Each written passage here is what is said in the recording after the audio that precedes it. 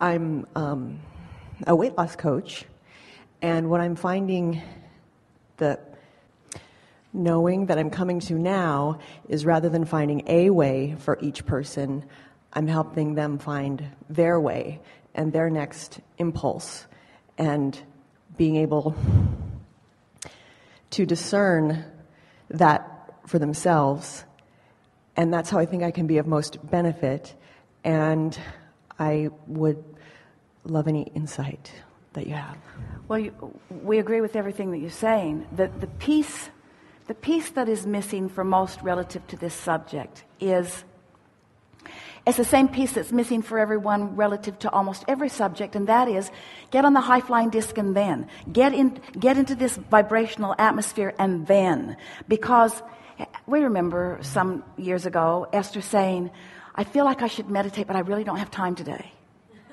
And that's like saying, I've decided to do each and everything that I'm going to do today the hard way.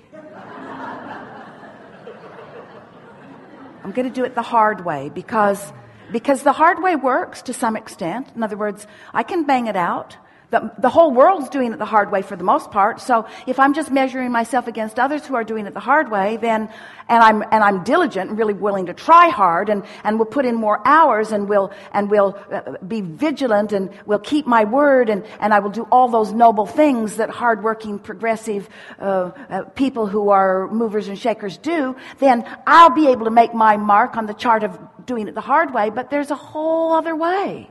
There's a whole other way that most have, are not, are not understanding. And so, it's not the easiest thing in the world to get someone to all of a sudden flip on a dime and start feeling differently about themselves than they have been feeling because they have momentum.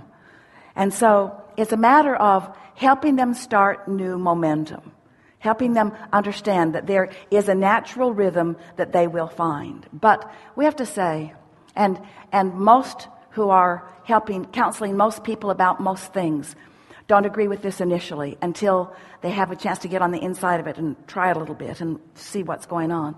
Most really believe that they are coaching action, that they are coaching behavior.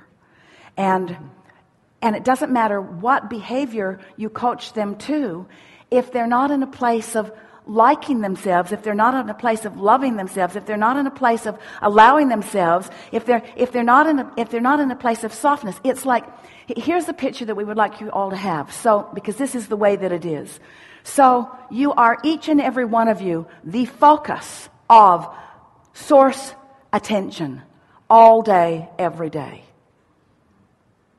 Not just guessing attention, precise you put the things in the vortex piece by piece, know exactly who you are and what you want, loving, unconditional attention flowing to each and every one of you steadily and constantly. So here you are, the subject of all of that attention.